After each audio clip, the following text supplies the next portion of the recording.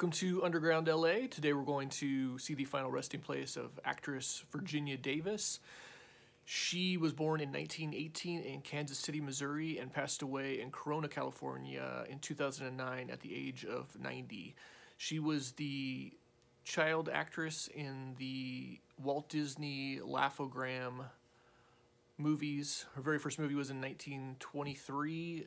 It was Alice's Wonderland, and then she followed up after that with the Alice comedies. So that was pre Mickey Mouse.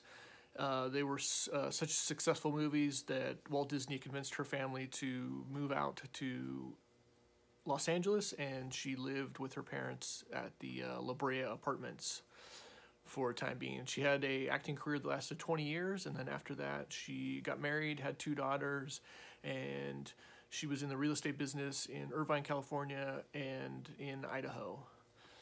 So, uh, like, subscribe, tell me who else you want to see, and enjoy this video.